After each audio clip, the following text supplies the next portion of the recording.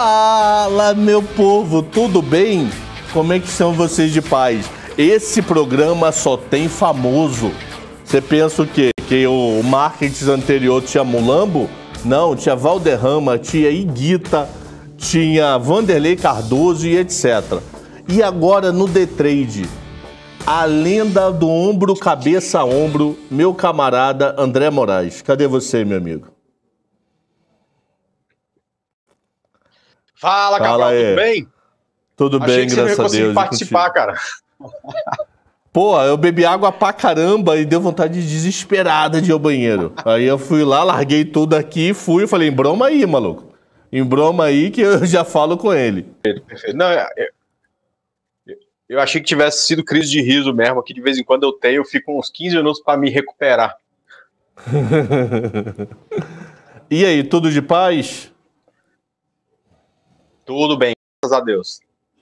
E, pô, hoje pelo menos bolsa boa, hein? Mercado ajudando, que eu acho que a última vez o mercado não estava verdade... bom quando eu fiz contigo. É, não, é, assim, eu, eu acho que o mercado continua ruim, né? E o que acontece hoje é o que tem acontecido nos últimos dias. É, é parte do mercado está indo muito bem, né? Então você tem, por exemplo, Bradesco, que bom balanço, no, no dia do balanço se comportou pessimamente mal, é, BBAS também na semana. De repente chega hoje, um belo dia, o mercado não está tão forte, né? Você tem Bradesco subindo sete vezes o que está subindo em Bovespa hoje. Então a gente hoje tem é, é, bancos performando muito bem, por incrível que pareça, eu achei que hoje é complexo para varejo e para construção civil, por conta da inflação que veio bem acima do esperado, mas assim, varejo físico performando muito bem. Você tem, por exemplo, a Mar subindo bastante, é, Vivara subindo bastante, outras de varejo físico. E também um bom dia para as construtoras, né? Agora, é, é, é, um bom dia para todo o mercado. Você tem aí alguns setores que não conseguiram acompanhar a alta. E tem acontecido isso, o, o, o Cabral, é um, é um rotation de setores, né? Então hoje é, é, meio que como se combinasse, né? Hoje vai subir tal setor, amanhã outro setor, e, e você não tem tendência. Né? Você não tem o mercado nem caindo subindo de vez, é um mercado muito mais lateral. É, tanto é que das 10 ações do índice que mais subiam há meia hora atrás, 7 eram bancos. Sim, sim. Do índice é Bovespa. Então vamos lá? Vamos Provavelmente as, pelo... as, outras hum. três devem ser desses oito setores que eu falei: varejo físico ou construtora, né? São as que estão performando muito bem hoje. É, agora eu não lembro, tem que dar uma olhada. Eu sei que me chamou a atenção que eram sete bancos. Então vamos ver lá como é que está o dólar, meu amigo, por favor. Beleza, vamos lá. Deixa a tela aqui. Pronto, né? Então, da, da última vez que a gente esteve aqui, o, Cabral, a, a, gente falava exatamente do dólar nessa região, que era um ponto de resistência é, complicado para ele passar. Tanto é que depois daquele momento que a gente esteve aqui, teve correção até que subiu de novo, conseguiu romper, subiu bem, até deu um trade comprado. Né? E, e, a partir daí passou por uma correção. Vem nos, nas últimas duas, três semanas passando por uma correção. Agora, tem uma coisa, Cabral, que eu observo muito uh, em gráfico diário de índice, de dólar e, e, e de algumas ações, do DI, enfim, né? que é exatamente padrões como esse aqui e como este aqui. Né? Você tem uma sombra superior de candle é, muito grande, você percebe, pelo menos momentaneamente, uma inversão de movimento. Né? De uma forma que aqui, a gente, depois de um pavio muito grande, você tem uma, pelo menos uma correção de mercado. Hoje o dólar, que parecia num determinado momento ir para outro dia forte de queda, se recupera, deixando um pavio dessa vez para baixo, quer dizer, mostrando, claro, são 3h40 da tarde, dólar fecha 6h30, né? mostrando, claro, que se fechar dessa forma, né, tende a procurar é, o topo anterior aqui novamente, tá? Então, é, essa é a leitura que eu tenho do dólar. Acho que o destino dele vai depender muito uh, do fechamento de hoje, de como vai fechar, de se, se vamos ter esse ganhando força com o passar do dia, tá? Mas fechando dessa forma, é, entendo esse como um bom ponto de suporte para o dólar voltar para testar esse topo aqui de 5 é, 5.800 e 5.798.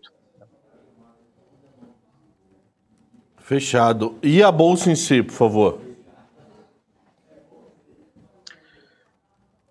Sabe que eu estou olhando uh, Bovespa e estou dando uma olhada também em Small, cara, porque a gente tem sofrido muito uh, nos últimos momentos com algumas empresas do, do Ibovespa, né? E que acaba que o Ibovespa é um reflexo tão fiel do que está acontecendo com o grosso do mercado. Uh, pensando assim, muito por conta, inclusive, de Vale, né? Que vem, continua caindo uh, uh, com muita força, né? A Vale, ela para uma blue chip, né? Tá com uma volatilidade acima da média. É, então, o, o Ibovespa, para mim, isso se chama falta de tendência, né? Às vezes pessoas ligam tendência a, a, a, falta de tendência a movimentos muito curtos, né? Mas às vezes você tem é, movimentos é, largos, só que sem direção. Né? Então, o Ibovespa está subindo no rotate. Um dia sobe Vale, tem sido difícil nesses últimos momentos. No outro dia sobe os bancos, como está acontecendo hoje. Petro e Vale ficam.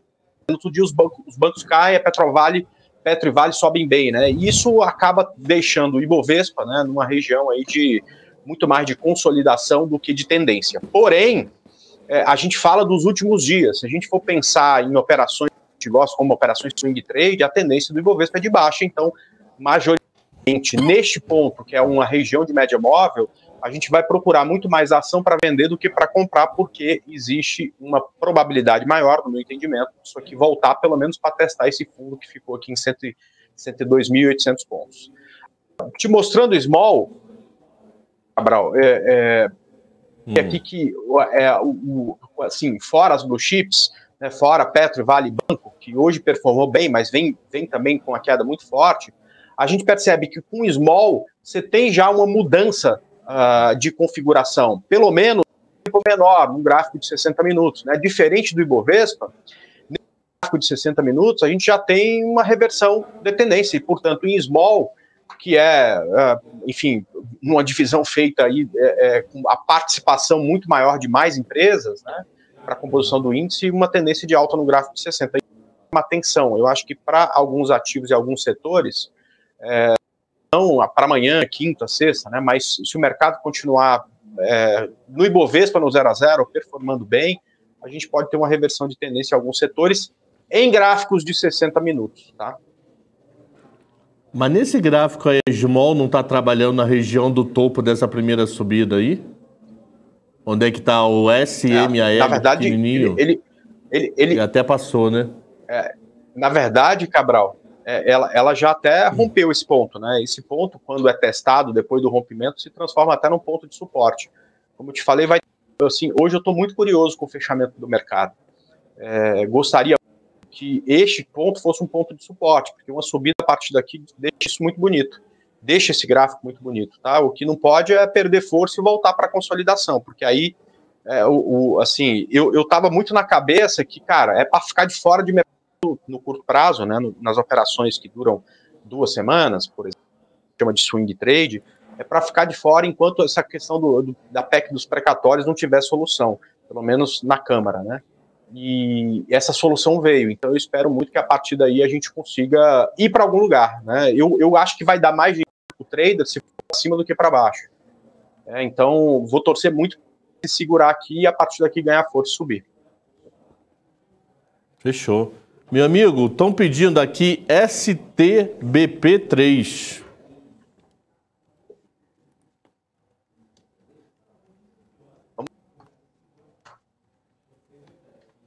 Santos então, Brasil. É, é, exato, né? Outro ativo que sofreu pra caramba, né? Assim, é, como muitos, né? É, bom, primeiro, uh, fez topo histórico pouco antes aí, é, pouco depois do topo histórico do mercado, né? É, a partir daí veio com a correção muito forte, tendência entrou em tendência de baixa, se sustentou aqui, tá? Que é para o gráfico semanal é, um ponto de suporte, tá? Então, quando a gente pega fundo aqui de 2020, pouco depois da crise da. pouco depois da pandemia, esse fundo depois aqui é, em outubro do ano passado, né? E essa região a gente percebe que ele acabou ganhando força por aqui. Eu tenho muita dificuldade é, é, de, olhando no gráfico diário, encontrar qualquer coisa com Santos Brasil que não seja ficar de fora. Porque é, uma atual venda no papel eu só faria se ele conseguisse performar e fechar um semanal abaixo desses 5,45.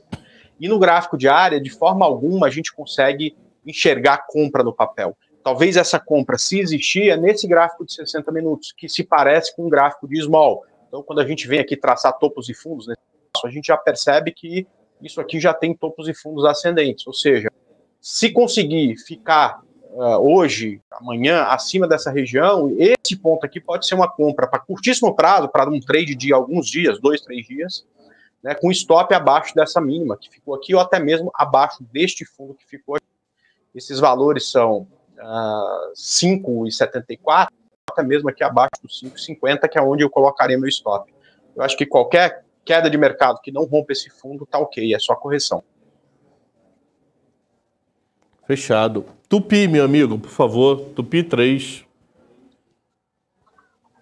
Tupi 3.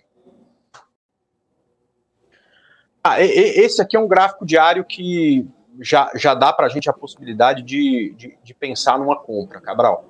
É, eu gosto muito de reversão de tendência e tem algumas coisas que eu observo uh, quando eu tenho uh, chance né, de uma reversão. Muita gente fica procurando isso aqui no fundo coisa mais difícil que tem é achar o fundo no mercado. Né? Eu já vi gente acertar uma vez e até ficar famosa por isso, né? Mas acertar fundo de mercado com consistência, ou fundo do ativo com consistência, é a coisa mais difícil do mundo. É, então, eu gosto sempre de esperar o que a teoria de ondas de Elliott chama de terceira onda. Você brincou aí da, do cabeça-ombro, né? Que nada mais é do que isso. Ou seja, o que Elliott falava é que a terceira onda ela tem pelo menos 100% do tamanho da primeira. E como essa aqui foi uma baita de uma onda, se vier outra onda aqui, né, a gente vai ter uma bela possibilidade de alta para esse papel. É, uma das coisas que eu gosto e que me autoriza a entrar numa operação antes de ter o rompimento desse topo, porque senão se acaba entrando com risco grande demais, é exatamente esse indicador aqui, que, eu, que é um MACD com mais uma linha, que eu chamo de difusor, né? É esse indicador cruzando para cima é, linha vermelha em cima de linha laranja e linha laranja em cima de linha preta, tá? Então, quando a gente tem essa a gente tem autorização para, é, antes do rompimento do topo, pensar em entrar numa operação. Então, quando a gente vem uh, para o gráfico de 60 minutos, onde eu gosto de encontrar as minhas entradas, eu enxergo uma possibilidade de compra nesse ativo, neste rompimento de 22 e 30, com stop abaixo de 21 e 30, com saída parcial e 30 e uma saída final em 25 e 30. Por favor. O Cabral cortou, não conseguiu entender o ativo. Idux. YDUQ3, Idux. É. Vamos lá. Você sabe que esse código, toda vez que eu vou digitar ele, eu tenho que olhar, cara, porque eu nunca lembro de cabeça aqui o código. Hum. É, aliás, é, é, tem tanta coisa nova por conta dos IPOs, né? De vez em quando me aparece um, um, gráfico que eu nunca tinha visto e tal. De vez em quando vamos lá. ação ah, aqui que eu nunca tinha ouvido falar na vida antes. É, é, é acontece comigo também. É, bom, deixa eu dar só uma atualizada aqui no estudo. Bom, é um ativo também que sofreu muito, né? A partir de junho e julho. Uh, assim como todo o setor, chegou num belo ponto de que foi essa região, né? Então, para o tipo de operação que a gente chama de contra-ataque, né? Quando chega perto do ponto de suporte, deixa um candle de força, eu acho que a operação já foi, né? Uma operação de compra. É, essa linha de tendência é uma linha de tendência que vem de muito longe, né? Que liga aí pontos importantes no passado e muitos pontos, né? Então, ó, em 2009, o de suporte desse ativo foi o início dessa linha de tendência, em 2011, a gente conseguiu formar essa linha de tendência, a gente tem um terceiro toque em 2016, no auge da crise lá, pré-impeachment da Dilma, né, e agora, né, dando um zoom aqui nesse gráfico, um quarto toque, que uh, trouxe esse ativo aqui de volta para cima, né, já está subindo aí há quase duas semanas. Né. É, assim, então, eu, eu acho que esse é um ativo para quem conseguiu comprar nessa correção perto do ponto de suporte, um monte de resistência, não faria nada de novo nesse ativo até essa linha. Né? É o, o, que, por enquanto, poderia indicar que, cara, eu agora vou parar de cair de vez e vou buscar esse topo anterior. Então, é, não vejo venda aqui, mesmo que caia, os alvos são curtos. Então, esse é um ativo para quem está comprado, eventualmente com stop abaixo de 22 reais. E, e, e para quem não está, eu acho que o melhor é e se for compra, esperar romper essa região de 25,60. E se tiver olhando o ativo pensando em venda, eu só faria abaixo desse ponto de suporte aqui, que é aquela linha de tendência que eu mostrei agora há pouco. Fechou. Via varejo, por favor. Essa daí tá é, um sobe Cortou um pouco, é via caramba, varejo, né? mano. É, essa daí tá tensa. É, é isso aí. Cara, e você sabe, Cabral, que isso enlouquece muita gente, né? Porque talvez uma sensação tão ruim quanto ter comprado via varejo e ter sonhado com o mercado e ver o ativo cair 50%, 70%, 80%, ficar com a sensação de que você vai perder uma grande oportunidade. E isso atrapalha demais o, o, o novo investidor, né? Porque qualquer dia que sobe, ele acha que e não comprei, vou perder a oportunidade de levar isso até não sei quando, né? E a gente tem que ter muita paciência. Então, via varejo é um ativo que é, é, tem tendência de baixa. Né? Se a gente observar, desde que ela cruzou a média para baixo, toda vez que bate nessa média aqui, que é uma média de 17 períodos, ela vem e faz novo fundo, perfeito?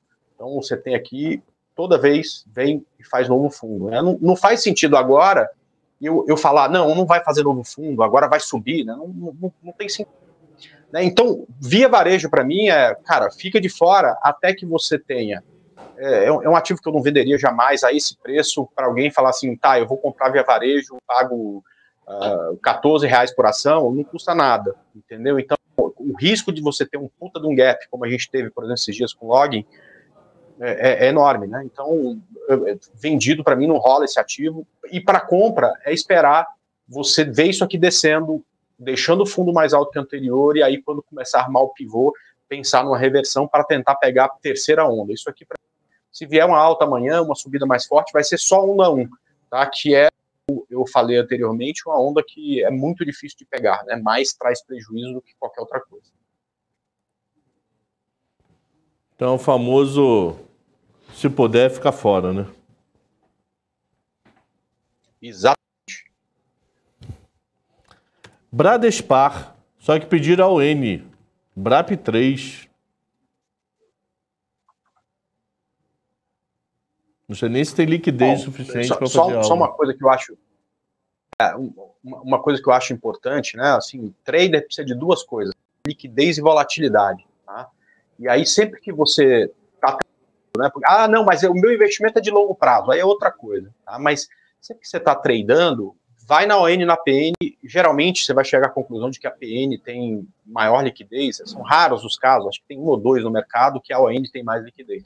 É o TRAP, né? Então, um corte que eu acho interessante é, é bate aqui e ver quanto de negociação tem o ativo. Cara, ativo com menos de, de, de de 10 milhões de negociação por dia, é, que é bem no limite como tá BRAP 3, cara, nem vale a pena pensar em swing trade. Então, se é para fazer trade, precisa BRAP, prefira 4. Mas a gente, só para a gente não deixar sem resposta, Cabral, existe um, um, um spot bem forte aqui nessa região de BRAP, tá? que, que, ao que parece, né, não vai ser o suficiente para segurar o ativo.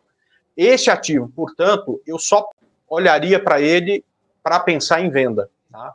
Ah, André, mas poxa, é, tem ações de Vale, porque Vale vai se recuperar. Tá bom, não preciso comprar no fundo, cara, é difícil de achar esse fundo. Eu traço uma linha de tendência aqui e vou pensar em comprar no ativo no rompimento dessa linha de tendência. Pago mais caro por uma probabilidade maior de alta, coisa que eu não enxergo agora. Agora, em compensação, né, entendo que a, a perda desses 41 e 80 abre uma possibilidade de venda em Brap 3, é, que aconteceria que acima de 42, 44 e 54.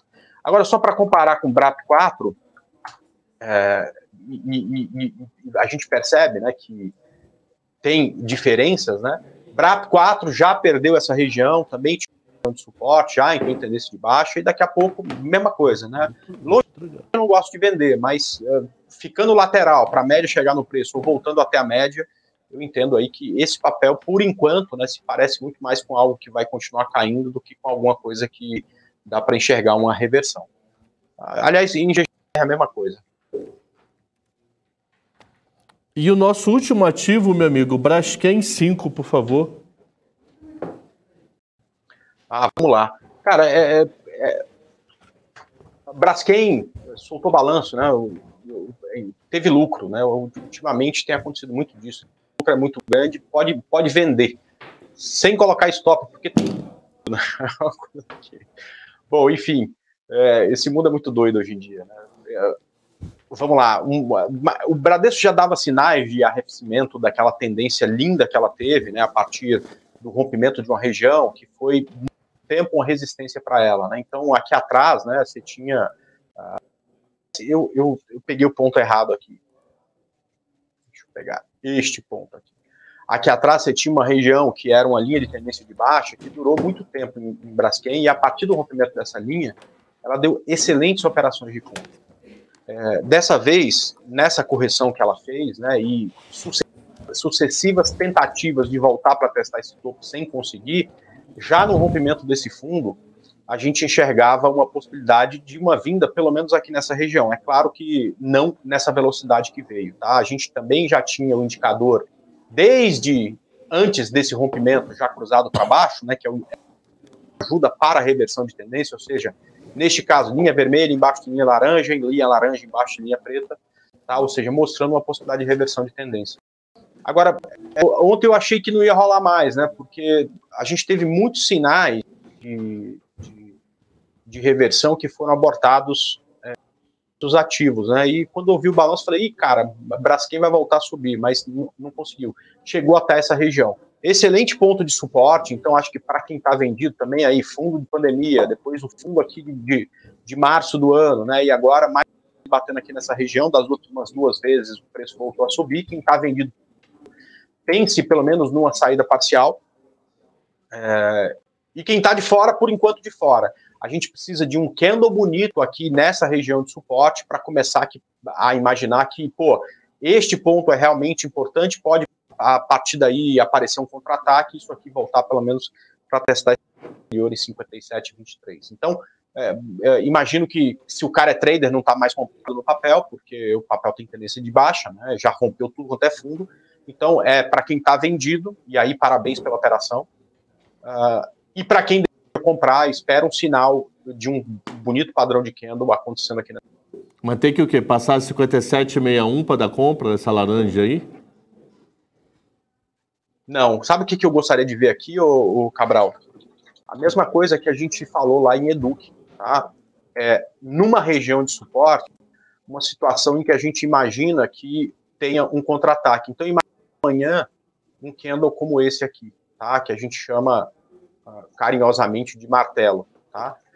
Significa que num determinado momento do dia o vendedor conseguiu continuar a empurrar o preço para baixo, mas chegou num em que a busca por venda por parte do, de quem estava vendendo os vendedores cessou e quem encampou e tomou lugar dos vendedores foram os compradores que fizeram o preço fechar lá em cima.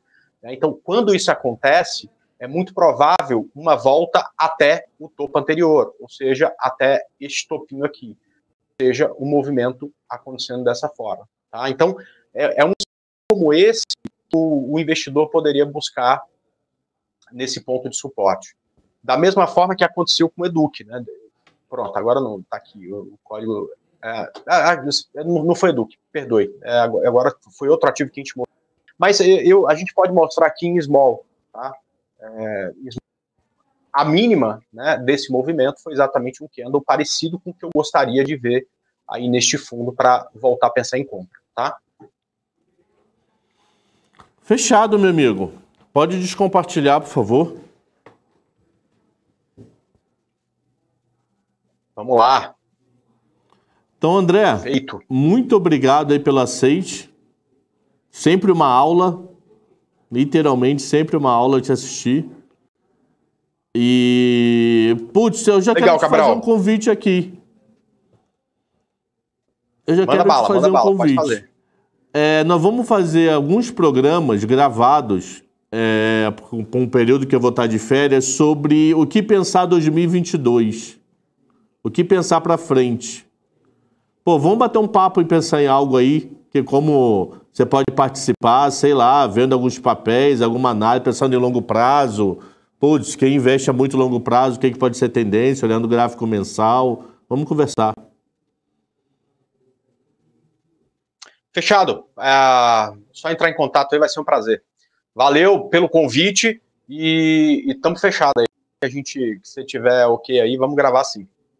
Tá, eu te chamo no WhatsApp, pode deixar. Valeu, meu camarada. Valeu. Grande abraço. Falou. Esse foi Falou. o The Trade de hoje com meu camarada André Moraes. Como eu tô com pressa, momento 3 segundos vai durar um segundo.